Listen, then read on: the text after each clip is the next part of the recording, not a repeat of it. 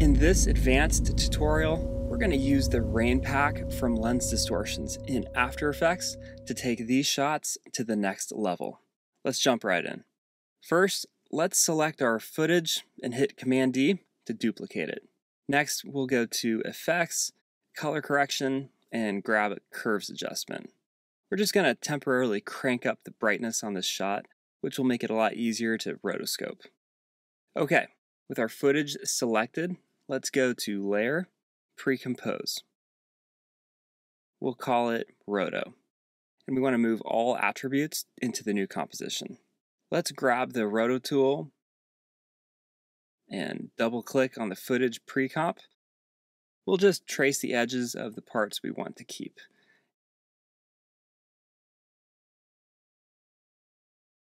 And if it doesn't get it perfect the first time, no worries, because we'll hold down the Option key to erase the parts we don't want. Now begins the slow part. Hit Command and the right arrow to go forward frame by frame. You want to make sure the edge detection is accurate. If little parts get messed up, just fine tune the edges with the roto brush as you go. We're going to skip forward, but for reference, it took about 5 minutes to rotoscope this whole shot. Tedious, but totally worth it. Now that that's done, we'll head back to our composition. Let's shut off our background layer and fine tune a couple roto settings. We'll maybe soften it up, bring the contrast down a bit, and reduce the chatter. Since we made some adjustments to the color grade before we rotoscoped the shot, we're actually only going to use this layer as an alpha matte.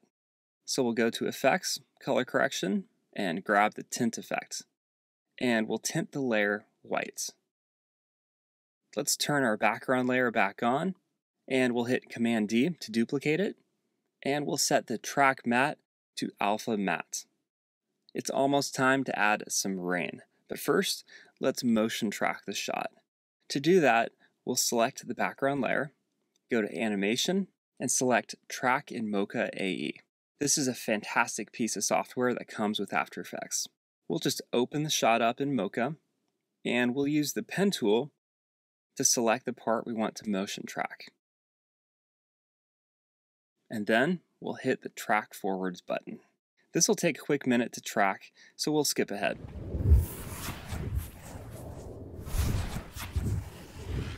Once it's done, we'll just click Export Tracking Data and copy the After Effects transform data to our clipboard.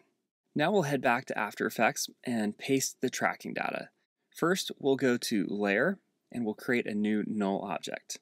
And we'll hit Command V to paste the tracking data. If you hit the U key, it'll bring up the keyframes.